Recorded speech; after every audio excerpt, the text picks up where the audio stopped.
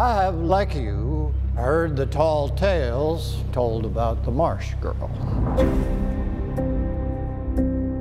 An abandoned child. I had a family once. They called me Kaya. A little girl surviving in the marsh on her own, reviled and shunned. Hello, Miss Kaya. I hear y'all buy mussels.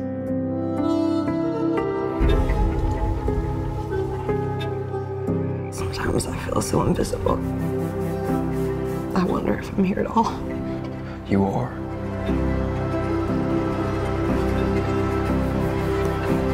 I think you're gorgeous. I want to get to know you better.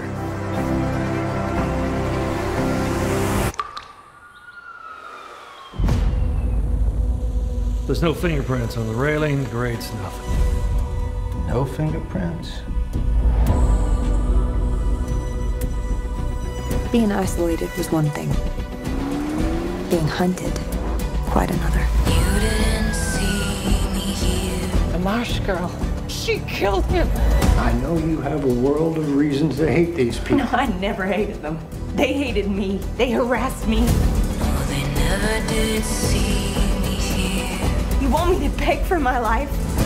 I won't. They're not deciding anything about me.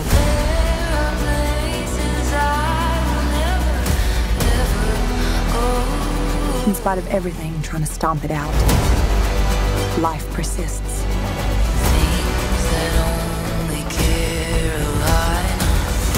Way out yonder, where the crawdads sing, the marsh knows one thing above all else.